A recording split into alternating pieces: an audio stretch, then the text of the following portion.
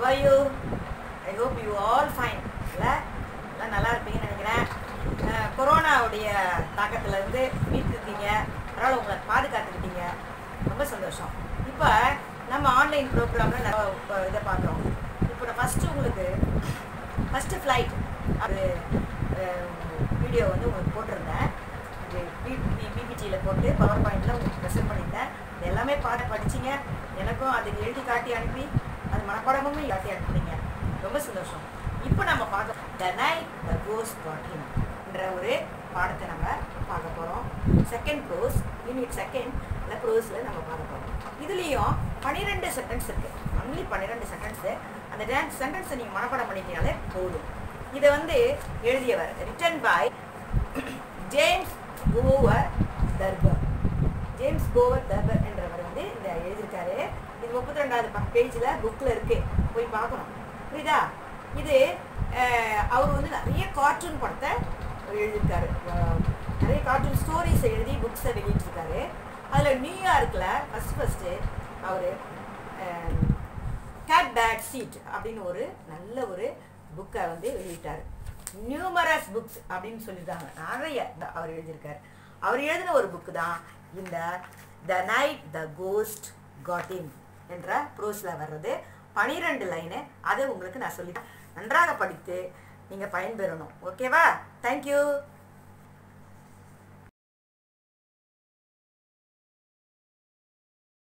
good morning students good morning இன்னைக்கு unit two prose the night the ghost in இதை நம்ம படிக்க போகிறோம் கதையை வந்து உங்களுக்கு தெரியும். கதை உங்களுக்கு நாங்கள் ஏற்கனவே சொல்லி கொடுத்தாச்சு. அதையே நீங்கள் ப நல்லா புரிஞ்சிருப்பீங்கன்னு நினைக்கிறேன். புரிஞ்சிருந்தால் இந்த டுவெல் லைன்ஸ் பேராகிராஃபாக நீங்கள் எழுதணும். ஒரே ஒரு டுவெல் லைன்ஸ் தான். Very simple English simple word. ஈஸியாக நீங்கள் எழுதலாம். ஃபஸ்ட்டு பார்க்கலாமா? பேராகிராஃப் வந்து ஒன்லி டுவெல் லைன்ஸ் இருக்குது இந்த டுவெல் லைன்ஸை முதல்ல நான் படிக்கிறேன் கவனிச்சிங்க. அப்புறம் தனித்தனியாக படிக்கலாம். Okay? The narrator heard some footsteps downstairs one midnight he woke up brother Herman. They thought it might be a ghost. Their mother was awakened. She thought that they were burglars. She threw a shoe at the neighboring house. Her neighbor called the police. They searched the house. He found nothing. Grandfather shoot police in his soldier. The next morning he told them and we came down to drink water. Now the narrator realized it was not ghost but his own father உங்களுக்கு இந்த கதை புரிஞ்சிருக்கும். Okay இப்போ பாருங்கள் nineteen ஃபிஃப்டீனில் November செவன்டீனில் இந்த night ghost the night the கோஸ் காட்டின்ற ஒரு பேய் கதை அது. அதை வந்து அவர் வந்து எழுதுகிறார் யார்? ஆத்தர். ஆத்தரை பற்றி சொல்கிறான் ஆத்தர் நேமை பற்றி சொல்கிறான் புரியுதா? அவருடைய இந்த ரூம் இந்த ரூம் பார்க்குறோம் இல்லையா? இந்த ரூமு இந்த ரூமு தான்.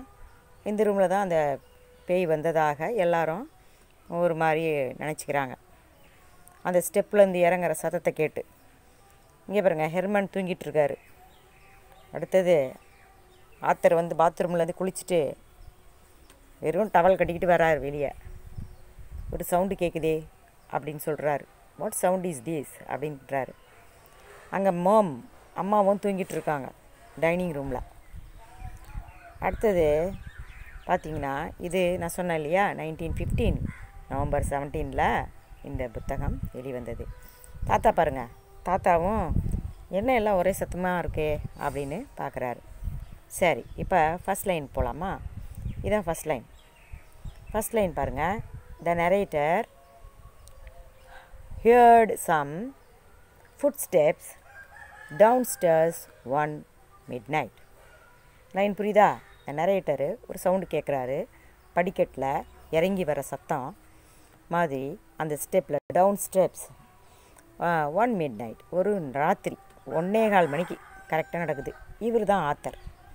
இந்த ஆத்தருடைய பேர் வந்து James Grover Thurber James Grover Thurber இவர் நிறைய கார்ட்டூன் படங்களெல்லாம் ஏற்றிருக்கிறார். புத்தகமாக புத்தகம்? வடியில் கொடுத்துருக்காரு. ஓகேவா? அடுத்தது. அடுத்தது பாருங்கள் he woke up his brother Herman அந்த அவங்களுடைய ஹெர்மன் வந்து எழுந்துக்கிட்டார். அந்த brother எழுந்துக்கிட்டார். They thought it might be a ghost அவரும் நினச்சிக்கினார். பிசாசு தான் இருக்கும் போல இது இந்த சத்தம் அப்படின்னு சொல்லி அவரும் நினச்சிக்கிட்டார். அடுத்தது பாருங்கள் அவங்க அம்மா இருக்காங்க இல்லையா? அம்மா தூங்குறாங்க பாரு.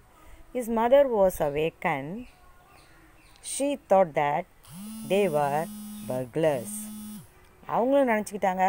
அவங்க ஒரு திருட்டுங்க கூட்டம் யாரோ இருக்காங்க வந்திருக்காங்கன்னு நினச்சிக்கிட்டு. She threw hers shoe at the neighbouring house அதனால் இவங்க பக்க எதிர் வீட்டினுடைய பக்கத்தில் ஒரு ஷூ எடுத்து அடிக்கிறாங்க. அடுத்து பாருங்கள் the neighbour call the police அந்த நைபர் என்ன எழுந்தி ஓடையிறாங்க. வந்து போலீஸ்க்கு கால் பண்ணுறாங்க தே சர்ச் த ஹவுஸ் அந்த வீட்டை பா ஃபுல்லாக சுற்றி பார்க்குறாங்க என்ன தான் இருக்குதுன்னு பார்க்குறாங்க அந்த நைட்டோட நைட்டாக தி ஃபவுண்ட் நத்திங் அங்கே என்ன இல்லை? ஒன்றுமே இல்லை. ஒன்றும் இல்லாததுக்கு இப்படி பண்ணுறாங்களே அப்படின்னு. தாத்தாவும் என்ன பண்ணுறாரு பிளிக் பிளிக்குன்னு பார்க்குறாரு ஏந்து வரார். வந்துட்டாரா? Grandfather shoot a police in his shoulder grandfather shoot a police in his shoulder இவர் என்ன பண்ணார்? அவர் ஒரு துப்பாக்கி வச்சுருக்காரு. அதை தூக்கி அந்த போலீஸ் இருக்காங்க இல்லையா? அவங்கள தோளில் சுட்டுடுறாரு. The next morning he told them that he came down to drink water அப்போ தான் சொல்கிறார் நான் அடுத்த நாள் காலையில் நான் தான் கீழே தண்ணி குடிக்கிறதுக்காக இறங்கி வந்தேன். Now the narrator realised it was not cos but is own grand father இது கு- அல்ல. இது வந்து நம்ம கிராண்ட் ஃபாதர் தான் இதை செஞ்சுருக்கார்.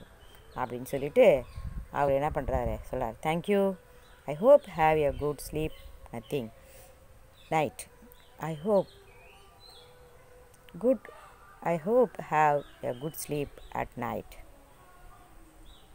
அப்புறம் உங்களுக்கு ஏழு கொஸ்டின் கொடுத்துருக்கேன். இந்த ஏழு கொஸ்டினையும் நல்லா பாருங்கள் பார்த்துட்டீங்கன்னா ஈஸியாக இந்த கொஸ் இந்த பன்னெண்டு லைன்லேருந்தே நீங்கள் எடுத்து எது எதெல்லாம் எழுதலாமோ அதெல்லாம் எழுதிருங்க ஓகேவா the night the ghost got in ஓகேவா உங்கள் டீச்சர் பில்லா கரோலின். தேங்க்யூ யும் குழப்பத்தையும் குறித்து தான் இங்கு பார்க்க போகிறோம். மீண்டும் சொல்கின்றேன் ஆயிரத்தி தொள்ளாயிரத்தி பதினைந்தாம் ஆண்டு நவம்பர் மாதம் பதினேழாம் தேதி அதிகாலை வேளை ஒன்றே கால் மணிக்கு அந்த சத்தங்கள் எங்கள் வீட்டில் ஆரம்பித்தன. உணவு உண்ணும் மேசையை சுற்றி நடப்பது போன்ற சீரான விரைவான ஒளிச்சத்தம் அங்கே கேட்டது. மாடியில் உள்ள அறையில் என் அம்மா தூங்கிக் கொண்டிருந்தாள். மற்றோர் அறையில் என் சகோதரனாகிய ஹெர்மன் தாத்தா மேல்மாடி அறையில் வாதுமை மரக்கட்டையால் செய்யப்பட்ட படுக்கையில் இருந்தார். ஒருமுறை அந்த படுக்கை அப்பாவின் மேல் விழுந்து விட்டது என்பதை இங்கே கூறிக்கொள்ள விரும்புகிறேன். நான் அப்போதுதான் குளித்துவிட்டு பாத்டப்பில் இருந்து வெளியே எட்டு வைத்தேன். சுறுசுறுப்பாக என் உடலை துண்டினால் துவட்டி கொண்டிருந்தேன். அப்போதுதான் அந்த சத்தம் கேட்டது. கீழே உள்ள சாப்பாட்டு மேசையை சுற்றி ஒரு மனிதன் வேகமாக நடக்கும் சத்தம். பாத்ரூமில் இருந்து வந்த வெளிச்சம் படிக்கட்டுகளின் வழியாக டைனிங் ரூம் வரைக்கும் விழுந்தது. தட்டுகள் வைக்கும் கம்பியில் தட்டுகளின் மங்கலான வெளிச்சத்தை நான் பார்க்க முடிந்தது. அந்த காலடி சத்தம் மேசையை சுற்றி சுற்றி வந்து கொண்டிருந்தது. சீரான இடைவெளிகளில் அங்குள்ள பலகை ஒன்றின் கிரீச் கிரீச் என்ற சத்தமும் கேட்டுக்கொண்டிருந்தது. நான் முதலில் நினைத்ததெல்லாம் என்னுடைய தந்தையோ அல்லது சகோதரன் ராயோ இந்தியானா போலீஸ் என்ற நகரத்திற்கு போயிருக்கிறார்கள் அவர்கள் திரும்பி வந்திருக்கலாம் என்று நினைத்தேன். பின்னர் அது வீட்டை உடைத்து உள்ளே புகுந்த திருடனாக இருக்கலாம் என்று சந்தேகப்பட்டேன். அதுவரை அது பேயாக இருக்கும் என்ற எண்ணம் என் மனதில் தோன்றவில்லை. சும்மா மூணு நிமிஷம் நடக்கிற சத்தம் கேட்டுச்சு. அதுக்கு பிறகு நான் கால் விரல் நுனியிலே நடந்தவாறு என் சகோதரன் கெர்மனின் அறையை அடைந்தேன். என்று சத்தம் போட்டு இருட்டில் அவனை பிடித்து உழுப்பினேன் அவன் சோர்ந்து போன வேட்டை நாய் போல ஔ என்று சத்தமிட்டான். அவன் எப்பொழுதும் இரவில் ஏதாவது ஒன்று அவனை பிடித்துக் கொள்ளும் என்று அரைகுறையாக சந்தேகப்படுவான். நான் யாருன்னு அவன்கிட்ட சொன்னேன்? கீழே ஏதோ ஒன்று இருக்கு அப்படின்னு சொன்ன உடனே அவன் எழுந்து பின்னாடி படிக்கட்டை நோக்கி என்னை பின்தொடர்ந்தான். காலடி சத்தம் இப்போ அதிகமா கேட்காம சுத்தமாய் நின்று போயிருந்து. அவன் ஒருவித பயத்துடன் என்னை பின்தொடர்ந்தான். என்னுடைய இடுப்பை சுற்றி ஒரு துண்டு மட்டும் இருந்துச்சு. அவன் திரும்பவும் தன் படுக்கைக்கு செல்ல விரும்பினான். நான் அவன் கையை இறுக்கமா பிடிச்சுக்கிட்டேன். கீழே ஏதோ ஒன்று இருக்கு அப்படின்னு நான் சொல்லிட்டு இருக்கும்போதே காலடி யோசை மீண்டும் தொடங்கியது. அது ஒரு மனிதன் ஓடுவதைப் போல உணவு உண்ணும் அறையை வட்டமிட்டு சென்றது. அதுக்கு பிறகு படியில ஏறுறது போல தோன்றினது. கனத்த காலடி ஓசை ரெண்டு ரெண்டா ஒழிச்சு எங்களை நோக்கி வந்துட்டு இருந்து விளக்கினுடைய வெளிச்சம் படிக்கட்டிகளில் இன்னும் மங்களா வீசிக்கிட்டு தான் இருந்துச்சு. ஆனா எது எங்களை நோக்கி வருகிறது அப்படின்னு எங்களால பார்க்க முடியல. காலடி ஓசை மட்டும்தான் கேட்டுச்சு. ஹெர்மன் தன்னுடைய அறைக்கு விரைந்து ஓடி வாசல் கதவை பட்டுன்னு சாத்திக்கிட்டான். படிக்கட்டுகளின் மேல உள்ள கதவை நான் பட்டுன்னு மூடினேன். என் முழங்கால அந்த கதவு மேல வச்சு அழுத்திக்கிட்டு இருந்தேன். ஒரு நிமிஷம் நேரம். ஆனா ரொம்ப நீளமா தெரிஞ்சு அந்த ஒரு நிமிஷம் நேரம். அது கழிச்ச உடனே அந்த கதவை நான் மீண்டும் திறந்தேன். அங்க எதுவுமே இல்ல. எந்த சத்தமும் இல்ல. பேயின் ஓசையை அதன் பிறகு நாங்க கேட்கவே இல்லை. கதவை பட்டுன்னு சாத்துனது சத்தம் கேட்டு எங்க அம்மா எழுப்பிட்டாங்க அவர்கள் தன்னுடைய ரூம்ல இருந்து அப்படி எட்டி பார்த்தாங்க. பசங்களை அங்க என்ன செஞ்சுக்கிட்டு இருக்கீங்க? என்ன கேட்டாங்க. ஹெர்மன் இப்போ தன் அறையை விட்டு துணிச்சலா வெளியே வந்தான். ஒண்ணும் இல்ல அப்படின்னு சொல்லி முரட்டுத்தனமா கூறினான் அம்மா கேட்டாங்க படிக்கட்டுல ஓடிச்ச அது என்னது? அப்படின்னாங்க. அப்படியானால் அம்மாவும் கூட அந்த ஓசையை கேட்டிருக்கிறார்கள். நாங்க ரெண்டு பேரும் வெறுமனே அம்மாவை பார்த்தோம். கொள்ளியர்கள்! அப்படின்னு சொல்லி அம்மா சச்சும் யோசிக்காம உள்ளுணர்வுடன் சத்தம் போட்டாங்க. நான் மெதுவா படியில இறங்கி அம்மாவை அமைதிப்படுத்த முயன்றேன். ஹெர்மனை கூப்பிட்டேன். ஹெர்மனுங்க வா. நான் அம்மா கிட்ட தங்கிடுறேன். அவங்க ரொம்ப பயந்து போய் இருக்காங்க. அப்படின்னு சொல்லி சொன்னேன். உடனே அம்மா சொன்னாங்க நீங்க ரெண்டு பேரும் ஒரு அடி கூட எடுத்து வைக்காங்க. நம்ம போலீஸை கூடுவோம். அப்படின்னு சொன்னாங்க. தொலைபேசி கீழ்த்தளத்தில் இருந்ததால எப்படி தொலைபேசி கிட்ட போவது எப்படி பேசுவது அப்படின்னு சொல்லி தெரியல. இன்னும் கூட நான் போலீஸார அழைக்கிறத நான் விரும்பல. ஆனா அந்த நேரத்துல அம்மா சீக்கிரமா சில டிசிஷன்ஸ் எடுத்தாங்க. தன்னுடைய படுக்கையறை சன்னலை படாருன்னு திறந்தாங்க. அது பக்கத்து வீட்டுக்காரின் படுக்கையறை சன்னலுக்கு நேராக அமைந்திருந்து தன்னுடைய ஒரு காலினை எடுத்து ரெண்டு வீட்டையும் பிரிக்கிற குறுகலான இடைவெளியின் குறுக்கா சன்னல் கண்ணாடி வழியா அதை வீசி எறிந்தார். அந்த வீட்டுல அந்த படுக்கை அறையில ரிட்டையர்டான மிஸ்டர் போர்ட்வெல் அப்படிங்கிற ஒரு செதுக்கிறவர் என்கிறவர் ஒருவர் இருந்தார். தன்னுடைய மனைவி கூட இருந்தாரு. செருப்பு வீசப்பட்டதும் அங்கிருந்த கண்ணாடி சில சில சிலன்னு உடஞ்சி விழுந்துச்சு. இந்த நேரத்துல மிஸ்டர் போர்டுவெல்ல குறித்து பார்க்கணும் அப்படின்னு சொன்னா அவர் சற்று உடல்நலம் சரியில்லாமல் காணப்படுகிறார். அவருக்கு அடிக்கடி மைல்டு அட்டாக்ஸ் வரும். இது பக்கத்துல இருக்க எல்லா வீட்டுக்காரங்களுக்கும் நல்லாவே தெரியும். இப்போ மணி நைட் ரெண்டு மணி. நிலா இல்லாத ஒரு நைட்டு மேகங்கள் கருத்து கீழே இறங்கி காணப்படுது. ஒரு நிமிஷத்துல மிஸ்டர் போர்டுவெல் ஜன்னல் பக்கத்துல வந்துட்டார். அவருடைய வாய் வழியா நுர தள்ளிக்கிட்டு இருக்கு. தன்னுடைய கைகளினுடைய முஷ்டிய ஆட்டி ஆட்டி அவரு கோமா பேசிக்கிட்டு இருக்கார். அவருடைய மனைவி இப்ப சொல்றாங்க நாங்க இந்த வீட்டை வித்துட்டு பயோரியா என்ற ஊருக்கு போறோம் சச்சு நேரம் கழித்து தான் அம்மாவால அவங்களுக்கு அந்த செய்தியை சொல்ல முடிந்தது. கொள்ளையர்கள் கொள்ளையர்கள் எங்க வீட்டுல கொள்ளையர்கள் அப்படின்னு அம்மா சத்தம் போட்டாங்க. அம்மாட்ட போய் அது கொள்ளையர்கள் கிடையாது. பேய் தான் அப்படிங்கிற சொல்ற துணிச்சல் எனக்கும் இல்ல என் சகோதரன் ஹெர்மனுக்கும் இல்ல. ஏன்னா அம்மா கொள்ளக்காரங்களை காட்டிலும் பேய்க்கு தான் அதிகமா பயந்தாங்க. போர்டுவல் முதல்ல என்ன நினைச்சாருன்னா தான் வீட்டுல தான் கொள்ளக்காரங்க இருக்காங்க அப்படின்னு சொல்லி எங்களுடைய அம்மா சொல்றாங்கன்னு நினைச்சிட்டார். பிறகு அவர் அமைதியாகி தன்னுடைய பெட்ரூம்ல இருக்கிற போன் மூலமா போலீஸ்க்கு தகவல் தெரிவிச்சார். அவர் சென்னையில இருந்து மறைஞ்ச உடனே அம்மா மறுபடியும் ஒரு காலனி எடுத்து எரியறது போல பாசாங்க செஞ்சாங்க. நான் அம்மாவை அப்படி செய்யாம தடுத்து நிறுத்தினேன். பாவம் அம்மாவுக்கு ஜன்னல் கண்ணாடி வழியா செருப்பு வீசுறது ரொம்ப பிடித்தமான காரியமா மாறிவிட்டது போல. பாராட்டுற மாதிரி சீக்கிரமா போலீஸ்காரங்க வந்துட்டாங்க. ஃபோர்ட் சிடான் வாகனம் நிறைய போலீஸ்காரங்க. ரெண்டு பேர் மோட்டார் சைக்கிளில். எட்டு பேர் ஒரு பேட்ரோல் வாகனில் வராங்க. அவங்க கூட சில பிரஸ்காரங்க வேற. அவங்கெல்லாம் வந்து எங்களுடைய முன்புற வாசல் கதவை பழமா தட்டுறாங்க. டார்ச் விளக்குகளுடைய ஒளி சுவர்களின் மீது பட்டப்பட்டியாக ஒளிருது. எங்க வீட்டு முத்தத்து மேலையும் மிஸ்டர் ஃபோர்ட்வெல் வீட்டு நடபாதை எல்லாம் இப்ப டார்ச் லைட் வெளிச்சத்தால நனையுது. ஒரு முரட்டு குரல் கேக்கு கதவை தரங்க அப்படின்னு சொல்லி சத்தம் கேக்கு. நாங்கள் தலைமையகத்திலிருந்து வாரோம். சீக்கிரமா கதவை தரங்க நான் கீழே இறங்கி போய் அவங்கள உள்ள அனுமதிக்கணும் அப்படின்னு சொல்லி நினைச்சேன். ஆனா அம்மா அதை கேட்கல நீ சட்டை போடல. நீயே மரணத்தை தேடி போவாத அப்படின்னு சொல்லி சொல்லிட்டாங்க. உடனே நான் ஒரு துண்டு எடுத்து போத்திக்கிட்டேன். இறுதியில் காவலர்கள் தங்கள் தோள்பட்டைகளால் வீட்டின் கனத்த அந்த கண்ணாடி கதவை உடைச்சிட்டு உள்ள நுழையிறாங்க. மரக்கட்டை உடையிறதையும் கண்ணாடி நொறுங்கி விழுற சத்தத்தையும் நான் கேட்டேன். அவர்களுடைய டார்ச் லைட் வெளிச்சம் முதல்ல லிவிங் ரூம்ல தெரியுது. அடுத்து டைனிங் ரூம்ல அடுத்து பெரிய ரூம்ல அங்கெல்லாம் வெளிச்சம் வந்து அப்படி குறுக்கு மறுக்க அங்க வெளிச்சம் ஓடுது. நான் ஒரு துண்டை மட்டும் கட்டிக்கிட்டு இருக்கிறத பார்த்து அவங்க கேட்டாங்க. யார் நீ? நான் இங்கு வசிக்கிறேன் அப்படின்னு சொல்லி சொன்னேன். இந்த போலீஸ்காரங்களுக்குள்ள இன்சார்ஜ் கேட்டார். யார் இங்க இருக்கிறதுக்கான அறிகுறி இல்லையாப்பா? இப்போ அம்மா சொன்னாங்க ஒருவேளை எல்லாம் போயிருக்கலாம் ரெண்டு மூணு பேர் இருந்திருப்பாங்க. சத்தம் போட்டுக்கிட்டும் தொடர்ந்து கதவை தட்டிக்கிட்டே இருந்தானே. அவங்க போயிருக்கலாம் அப்படின்னு சொல்லி சொன்னாங்க. அதுக்கு அங்கிருந்த காவலன் ஒருவன் வேடிக்கிறான். உங்கள் வீட்டில் உள்ள கதவு ஜன்னல்கள் எல்லாம் உட்புறமா தாளிடப்பட்டு இறுக்கமாவே உள்ளது. யார் வந்திருக்க முடியும்? இப்ப கீழ்ப்பகுதியிலிருந்து அவங்க கூட வந்த மற்ற காவலர்கள் கனத்த ஓசையுடன் மேல நடந்து வரதை நாங்க கேட்டோம். இப்ப அந்த இடம் முழுவதும் காவலர்கள் இருந்தனர். கதவுகள் வெடுக்கஞ்சி இழுத்து திறக்கப்பட்டன. மேசையினுடைய டிராயர்கள் இழுக்கப்பட்டன. ஜன்னல்கள் மேலே அல்லது கீழே தள்ளப்பட்டன. மரத்தளவாடங்கள்லாம் பொத்து பொத்துன்னு சத்தத்தோட கீழே விழுந்துச்சு. இருட்டிலிருந்து இருந்து அரை டஜன் காவலர்கள் அப்படி காலில் உள்ள படிக்கட்டில் ஏறி வராங்க. அவர்கள் தரையை செலட போட்டு தேர ஆரம்பித்தனர். சுவர்களில் இருந்து படுக்கைகள் எல்லாம் இழுத்து போட்டனர். அலமாரிகளில் உள்ள கொக்கிகளில் உள்ள சட்டைகளை எல்லாம் இழுத்து கீழே போட்டாங்க. சூட்கேஸ்களையும் பெட்டிகளையும் அலமாரியிலிருந்து இழுத்து கீழே போட்டாங்க. அப்போ அவர்களில் ஒருவன் சகோதரன் ராய் நீச்சல் போட்டியில் வென்ற பழைய இசைக்கருவி சிதர் ஒன்றே கண்டுபிடித்தான். அதை தனது பெரிய கையால் தடவிக்கொண்டே அடுத்தவனிடம் இங்க பாருச்சோ அப்படின்னு சொல்லி சொன்னான். இப்ப ஜோங்கிற காவலன் சொல்றான் அதை திருப்பி பார்த்துட்டு இது என்ன? அப்படின்னு சொல்லி கேட்டான். இது எங்களுடைய பழைய சிதர் எனப்படுகின்ற இசைக்கருவி. இதுல தான் எங்களுடைய கிணிப்பிக்கு எனப்படுகின்ற எலி படுத்து தூங்கும் அப்படின்னு சொல்லி நான் சொன்னேன்.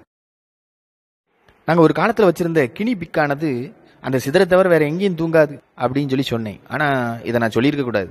இப்போ அங்கே பேசிக்கிட்டு இருந்த ரெண்டு காவலனும் ஜோ அப்படிங்கிற காவலனும் இன்னொரு காவலனும் ரொம்ப நேரம் எங்களையே பார்த்துட்டு இருந்தாங்க. பிறகு அந்த சிதரை அலமாரி தட்டில் வச்சுட்டு போயிட்டாங்க. அம்மாவிடம் முதலில் பேசியவன் கூறினான் எந்த அறிகுறியும் தென்படலை. இந்த பெண்மணிக்கு கிஸ்ட்ரியா எனப்படுகின்ற படபடப்பு இருக்கு போலும். அவங்க எல்லாரும் ஆமா சரிதான் அப்படின்னு சொல்லி தலையசைத்தனர் பின்னர் அவர்கள் என்னை பார்த்தார்கள். அந்த சிறிய அமைதியான நேரத்துல தான் மேல்மாடி அறையில கிரீச் அப்படின்னு ஒரு சத்தம் வந்துச்சு. தாத்தா ஒருவேளை தன்னுடைய படுக்கையில புரண்டிருக்கலாம். வந்த போலீஸ்காரில் ஜோ கேட்கான் அது என்ன சத்தம்? அப்படின்னு சொல்லி கேட்டான். நான் தடுப்பதற்கும் விளக்கம் அளிப்பதற்கும் முன்னாடியே அஞ்சாறு போலீஸ்காரங்க மேல்மாடி அறை நோக்கி வேகமா பாஞ்சு ஓடினாங்க. இப்படி முன்னறிவிப்பின்றியோ அறிவிப்பு கொடுத்து விட்டோ திடீர்னு உள்ள புகுந்து செல்வது எவ்வளவு மோசமானது என்பதை என்னால் உணர முடிந்தது.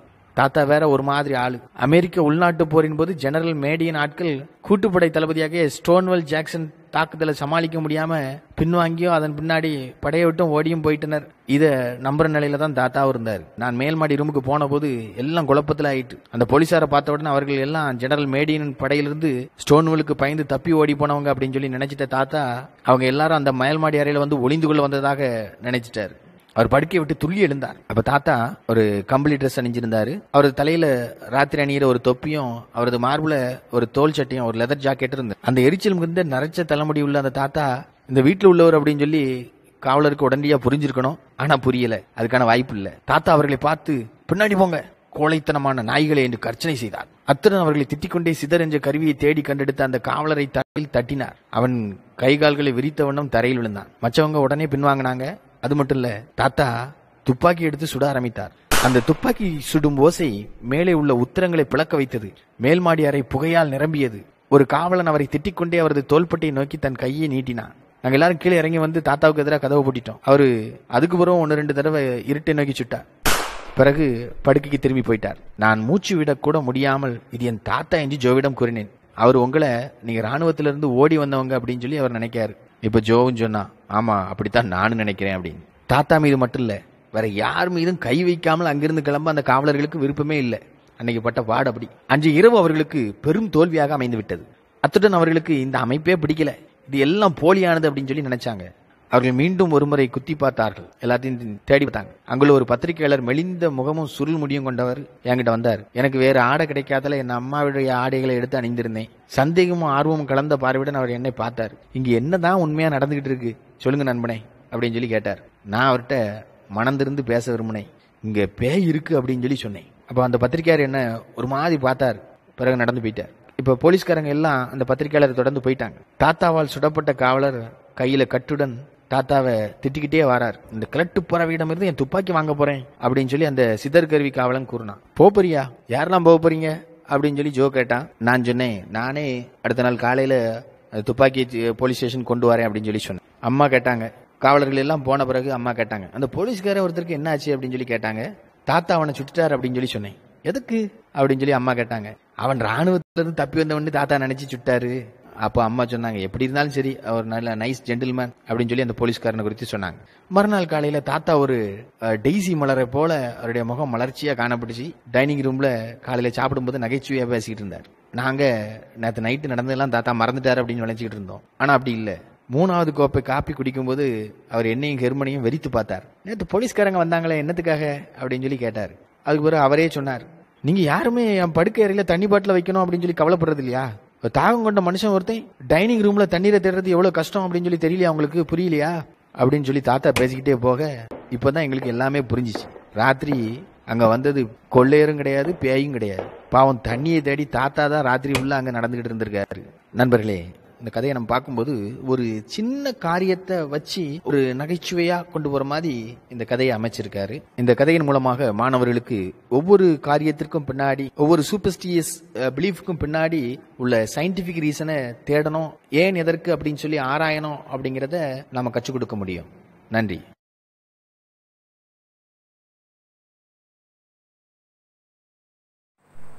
ஹலோ இல்லைங்களா? எல்லாம் பார்த்துட்டிங்களா? இந்த பன்னெண்டு லைனையும் நல்ல மனப்பாடமாக படிச்சுட்டு வாங்க. ஈஸியான வேர்ட்ஸு ஈஸியாக கேட்ச் பண்ணிக்கலாம். ஒரு அஞ்சு தடவை எழுதி பாருங்கள் ரெண்டு தடவை நல்ல மனப்பாடமாக மனசுக்குள்ளே அமைதியாக நீங்கள் நினச்சி பாருங்கள் அடுத்தது எழுதி பாருங்கள் பன்னெண்டு லைனையும் சூப்பராக எழுதிடுவீங்க தேங்க்யூ